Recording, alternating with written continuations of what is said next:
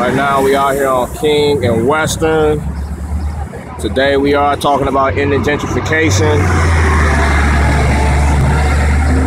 It marks four years since the young martyr Hajj Malcolm Latif El Shabazz was assassinated down in Mexico.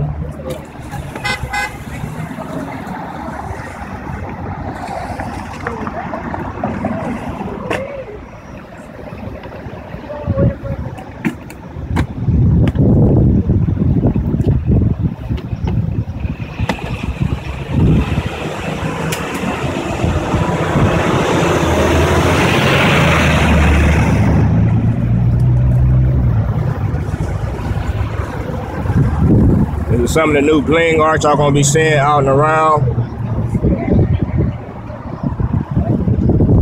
Created by young people.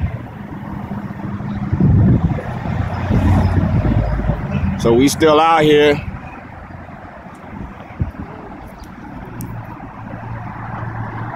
On the last few areas we got in LA.